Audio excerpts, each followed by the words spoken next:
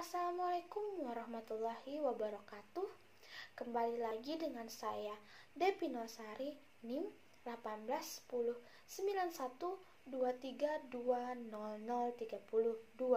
Prodi Kesehatan Masyarakat Universitas Lambung Mangkurat. Pada video kali ini adalah video keenam saya, yaitu saya akan memaparkan tentang penelusuran artikel dan analisis. Baik, ada beberapa hal yang akan saya paparkan dalam penelusuran artikel dan analisis berikut ini. Ah, yang pertama adalah batasan jurnal dan artikel ilmiah. Yang kedua, tentang penelusuran artikel pada jurnal ilmiah nasional.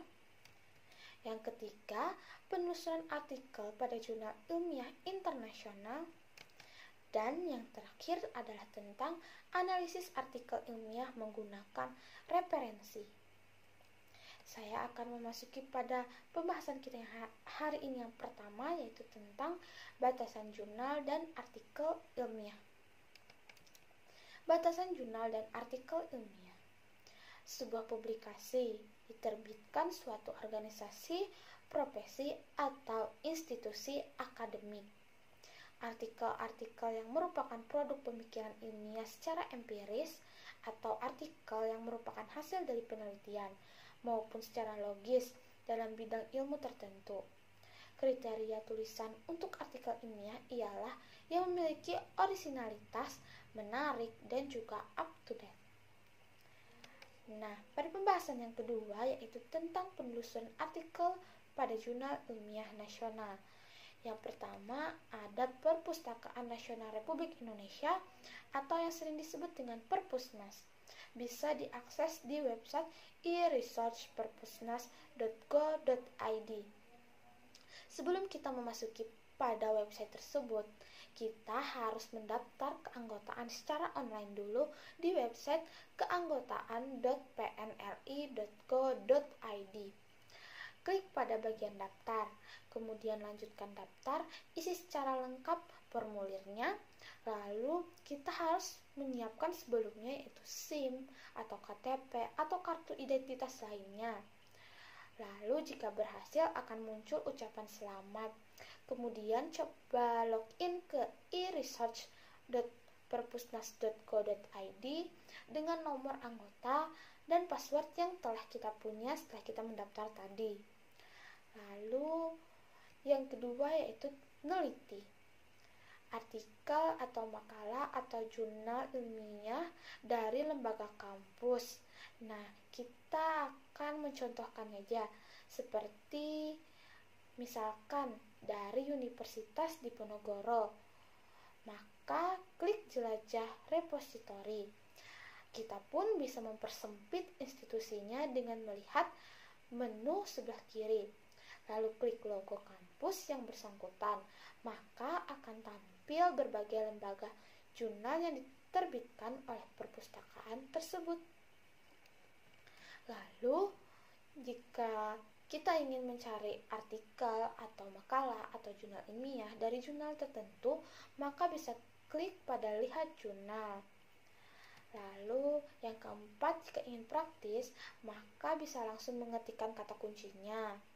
Misal kita klik judul paling atas, maka akan tampil pada contoh pada gambar di bawah. Lalu yang keenam bisa mengunduh dengan mengklik logo unduh teks lengkap atau ada logo unduh di ujung kanan atasnya. Kita bisa mengklik itu juga. Lalu yang selanjutnya ada portal Garuda.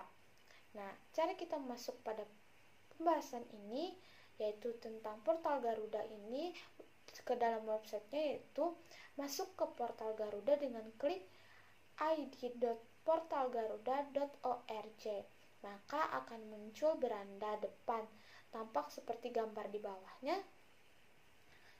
Lalu yang kedua tinggal menuliskan kata kunci pada kotak pencarian.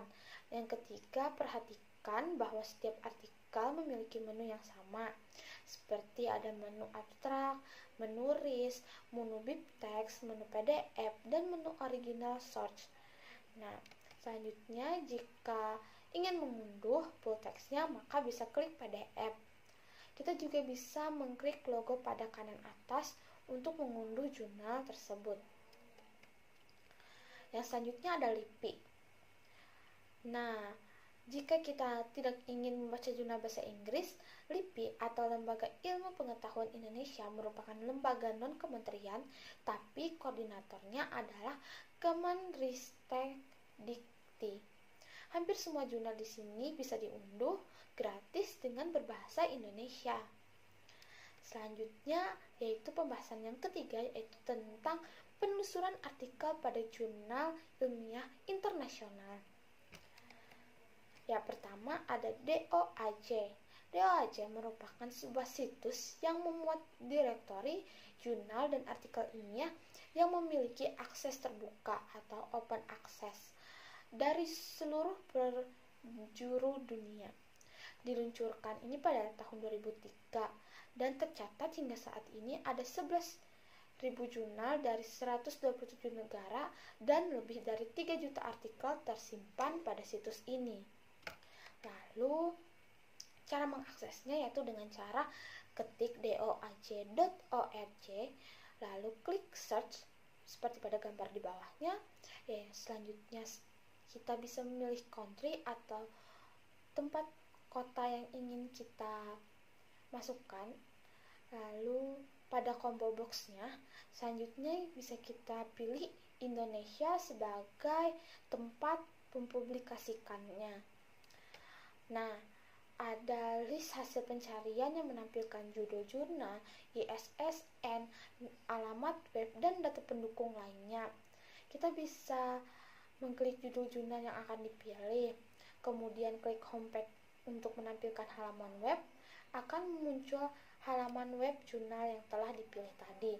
Kemudian, klik homepage untuk menampilkan halaman web. Akan muncul halaman website jurnal yang telah dipilih tadi. Pada contoh di gambar di bawah ini seperti itu tampilannya.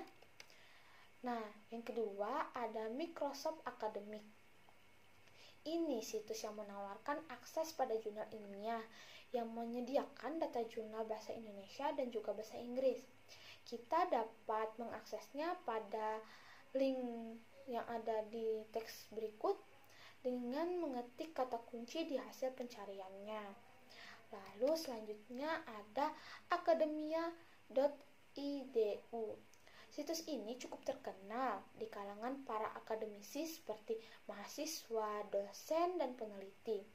Situs ini umumnya dikenal dengan sebutan jejaring sosial para akademisi untuk berbagi hasil penelitian yang dilakukan, mengikuti atau men-follow sesuatu yang memiliki bidang penelitian yang sama dengan kita dan juga sebagai media untuk mempublikasikan karya ilmiah yang telah selesai. Untuk mendapatkan jurnal pada situs ini, kita bisa memiliki akunnya terlebih dahulu dengan cara mendaftar atau mensinkronkan dengan akun Google atau Facebook yang telah kita miliki. Nah, cara untuk masuk ke dalam website ini, yang pertama, ketik dulu nama atau link websitenya. Nah, jangan lupa login melalui Facebook atau Gmail kalian. Lalu akan memasuki menu utamanya. Nah, kemudian klik dokumen dan pilih materi yang ingin kita download. Sesudah masuk, klik download. Nah, kita berhasil telah mendownload hal tersebut. Jika ingin mendownload menggunakan IDM, pastikan kita sudah mendownload IDM terlebih dahulu. Yang keempat ada ResearchGate. Hampir semua akademia menggunakan situs ini. Merupakan platform media sosial untuk para peneliti karena di dalamnya terdapat forum diskusi yang bisa melibatkan banyak peneliti dari seluruh dunia. Situs ini bisa digunakan untuk kita yang mencari referensi jurnal. Sangat berguna bagi jenjang pendidikan S1 dan 2. Uh, ah, tampilan websitenya yang ringan dari akademia. Website ini berisi jurnal publikasi yang memang tidak terlalu terbuka aksesnya. Beberapa publikasi membutuhkan izin dari pemiliknya jika ingin digunakan. Nah, selanjutnya ada Google Scholar. Situs yang sangat mudah diakses milik perusahaan Google ini menyediakan ratusan ribu jurnal ilmiah yang bisa diakses dengan format. Situs, ini menyajikan berbagai macam paper, tesis, jurnal, artikel, electronic books, atau e-books dan literatur ilmiah lainnya secara gratis. Yang selanjutnya ada ProQuest. Nah, sebagian data menyediakan banyak sumber artikel dan jurnal ilmiah dari banyak disiplin ilmu yang bisa dimanfaatkan. Lalu ada EBSCO Nah, ini untuk membantu kita mencari atau keperluan tugas kita dan referensi ilmiah dari beberapa berbagai interdisipliner pendidikan, mulai dari kesehatan, kepemerintahan, hingga kemiliteran semua ada di sini. Lalu ada Science Direct website yang sudah tidak asing lagi di kalangan para peneliti, guru, dan pekerja profesional ini menyimpan banyak artikel ilmiah yang bisa dibayar dan bisa diakses dengan berbayar. Lalu yang terakhir ada analisis artikel ilmiah menggunakan referensi. Nah, Analisis artikel ilmiah menggunakan referensi ini ada tiga. Yang pertama yaitu referensi umum. Referensi umum merupakan sumber informasi utama yang sering membantu pertama kali untuk selanjutnya mencari dan menemukan sumber-sumber ilmiah. Kebanyakan memiliki indeks daftar penulis, judul dan tempat publikasi artikel dan bahan lainnya atau abstrak yang memberikan ringkasan singkat dari berbagai publikasi penulis, judul, dan tempat publikasi. Nah, berikut ini daftar yang paling umum digunakan bidang pendidikan. Ada Education Index, CGI, ZA, ada RI, ada Psychological Abstract. Selanjutnya, ada sumber primer adalah suatu publikasi di mana peneliti melaporkan hasil penelitiannya. Penulis mengkomunikasikan temuan mereka langsung ke pembaca. Sebagian besar sumber utama dalam pendidikan adalah jurnal. Nah, jurnal ini biasanya diterbitkan bulanan atau kuartalan. Lalu yang ketiga ada sumber sekunder yang mengacu pada publikasi di mana penulis menggambarkan karya orang lain. Sumber sekunder yang paling umum dalam pendidikan adalah buku pelajaran sebuah buku psikologi pendidikan menggunakan mungkin menggambarkan beberapa studi tentang berbagai ide dan konsep dalam psikologi. Sumber sekunder yang umum digunakan termasuk ensiklopedia pendidikan, ulasan penelitian, dan buku tahunan. Untuk informasi rincian tentang penelitian yang telah dilakukan orang lain, sumber-sumber primer harus dikonsultasikan terlebih dahulu. Saat ini ada dua cara utama untuk melakukan pencarian pustaka, yaitu manual dengan pendekatan kertas tradisional dan elektronik dengan cara komputer. Mungkin itu saja yang dapat saya sampaikan. Mohon maaf jika ada salah kata. Wabillahi taufiq wal hidayah. Wassalamualaikum warahmatullahi wabarakatuh.